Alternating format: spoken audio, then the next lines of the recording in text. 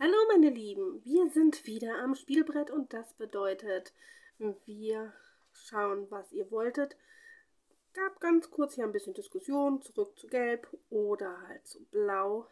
Die Diskussion ging kurz, war sehr entscheidend und somit gab es Blau, wo wieder ein paar Blümchen warten.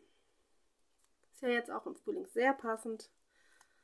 Da blüht es jetzt ja auch überall mehr Sachen äh, gedeihen. Das ist sehr schön. Man ist mehr draußen. So, und dann geht das kleine Hasenküken hier weiter. Ihr bekommt ein kleines blaues Ei in den leicht überfüllten Wagen. Irgendwie. So.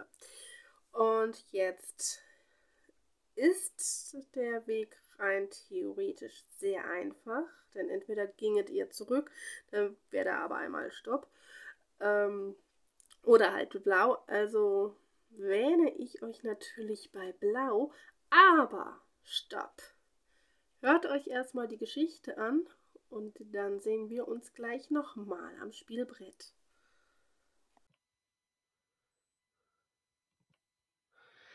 Das kleine Hasenküken.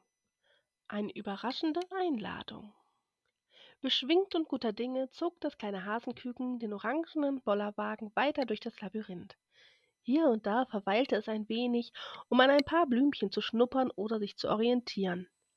Es fiel schwer darauf zu vertrauen, dass dieser Weg nun der richtige war, und immer wieder fragte sich das kleine Hasenküken, wie wohl der große Mümmler und die Verstecker darauf reagieren würden, wenn es irgendwann am großen Osterhasenhaus ankommen würde. Wie musste man sich das Osterhasenhaus überhaupt vorstellen? Tief in Gedanken versunken, merkte das kleine Hasenküken gar nicht, dass es immer mehr süßlich duftende Blumen auf dem Weg gab. Die Sinne wurden immer vernebelter und die Augen wurden schwer. Das Kichern von den zwei blauen Schmetterlingen wurde intensiver, und weiteres Gekicher mischte sich hinzu, ebenso wie das sanfte Klingeln winziger Glöckchen. Allmählich fiel es dem kleinen Hasenküken schwer, einen Schritt vor den anderen zu setzen und den orangenen Bollerwagen zu ziehen gar nicht so weit entfernt, klang es so, als würde ein winziges Orchester auf Geigen und Harfen aufspielen. Was ist hier los? murmelte das kleine Hasenküken ganz benommen. Frühlingsfest der Schmetterlinge, kam es kichernd von allen Seiten. Davon hatte das kleine Hasenküken noch nie gehört, aber es klang spaßig. Verweile ein wenig bei uns, flötete eine zarte Stimme. Es soll dein Schaden nicht sein. Mit müden Augen folgte das kleine Hasenküken den herumschwirrenden Schmetterlingen, welche immer mehr wurden und um sich herum glitzernden Pollenstaub in die Luft warfen. Manche schwirrten direkt auf eine der Hecken des Labyrinths zu und verschwanden dort im Geäst. Wenn sich das kleine Hasenküken nicht täuschte, dann kam von genau dort die wunderschöne Musik. Sie zog in den Bann und lud direkt dazu ein, mit den Füßen wippen zu wollen und vielleicht das Tanzbein zu schwingen. Nur zu gerne wollte es sehen, wie das Frühlingsfest der Schmetterlinge aussah, daran teilnehmen, die Zeit vergessen und einfach etwas Spaß haben. Daran konnte doch nichts verkehrt sein, und sie sagten doch auch, dass es keinen Schaden bringen würde. Wie nur sollte sich das kleine Hasenküken entscheiden? Die Verlockung und die Neugier waren groß, und obendrein knurrte leicht der Magen.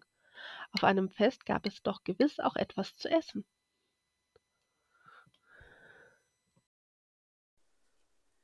Da sind wir schon wieder. Ich hoffe, ihr habt aufmerksam zugehört, was in der kleinen Geschichte vom Hasenküken passiert ist.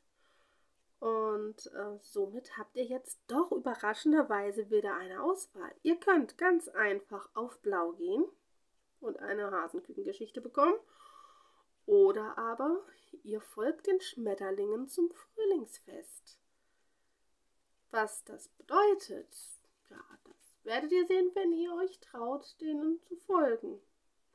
Wenn ihr euch nicht traut, ist auch in Ordnung. Ihr könnt einfach auf Blau gehen. Also da spricht nichts dagegen. Aber ihr könntet auch auf das Frühlingsfest gehen.